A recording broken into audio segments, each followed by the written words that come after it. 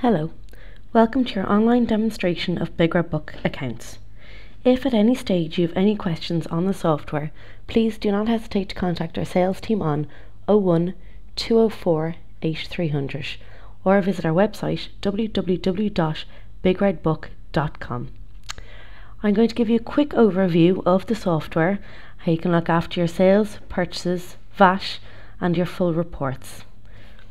We'll start with our lookup facility, which holds your main information about customers, suppliers, bank accounts, abbreviations, and products. Within the customer and supplier file, I'll show you how easy it is to set up, change a customer supplier's records. As you can see here, you have your list of customers, their account code, and their name. At any stage, if you'd like to add a new customer, just click on Add, generate an account code, fill in their name, address, details, etc. and click Save. You can also drill into the customer's details by double clicking on them. You can drill right down to transactional level. So if someone is querying an invoice, you can pull it up directly from their account and reprint if needed. This also shows you the balance outstanding on their account. The exact same can be said from the supplier side.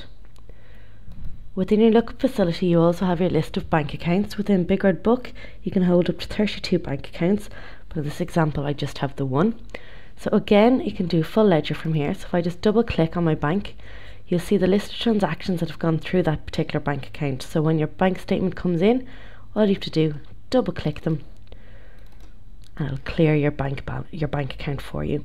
So you can see there's an outstanding balance now of zero. So your bank account and your BigRedBook are both correct. Abbreviations are just words that you use all the time just to save you typing, so it's just a quick way of, uh, of entering information into the system itself. And then you have your list of products. These are products that are shown on your invoices. So again, I'll just go into one here. We can change it just to show you that the information that's stored here. So you have your product code, your details, and the unit price, and the default VAT rate for that particular product. Now I'll just cancel out of that what I'll now do is show you some transactions. So we'll go from sales invoicing to our cash book to receive the money and our purchases book to our checks journal to pay any bills. And I'll show you how both of these are going to affect your customers and your suppliers within your lookup facility. So we'll start with the sales invoicing.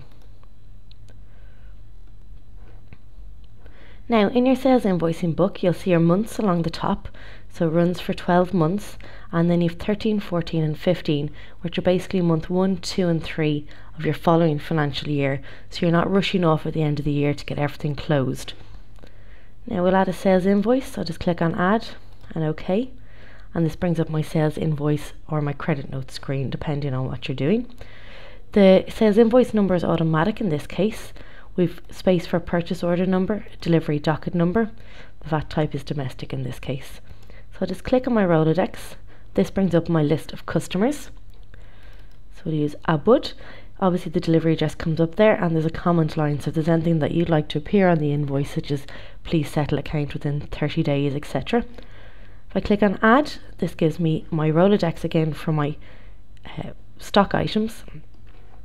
You can, if you like, just override that and free type in here, or else you can click on your Rolodex and it'll give you up your list of products. So we'll just use debtors here. So it pulls in the description, unit price, etc. And we're just going to buy one. Along the side here we have what are called analysis categories. So you can have up to 14 different categories and basically these are just a breakdown of your sales and purchases for your own reporting. So if you'd like to group products um, you'll be able to pull out reports then to see what's best selling for yourself. So in this case we have software, training and support. As the debtors is a software module I'm just going to hit page down and that'll automatically fill in then the amount. So I save that. You'll see now that you have your invoice complete. I just click on save. Gives you the option to add another invoice and it appears into your sales book. So if I go into my lookup facility here and go into my customers and Abud you'll see that invoice now has gone against their account and their balance has changed. I'll just show you a quick print preview of that particular invoice. Now, this is a fairly standard template that we have within Big Red Book. There are up to 70 different invoice templates, but we can also change or add to an invoice if required by yourself. So, if you'd like a logo, etc., brought in, we can do that for you. So, you'll see on the invoice you have your own address, contact details, the customer's accounts, and obviously the description. And then down the bottom, we have our total. Now we'll just actually receive cash then from Abwood just to say that they've paid off that particular invoice. Let's go to cash book. And again, you have your months along the top. So it's a cash receipt. Again, just select your customer. So Abwood. And you'll see here it gives us their ledger balance. So that's exactly how much is owing to us. So just for instance, we just say that a thousand has come in. Now, to say it came in by check, so you're going to lodge it directly to your bank account. So I click on Save and Lodge, it gives me up my list of bank accounts here. So my default is Bank of Ireland. if I just click on Save,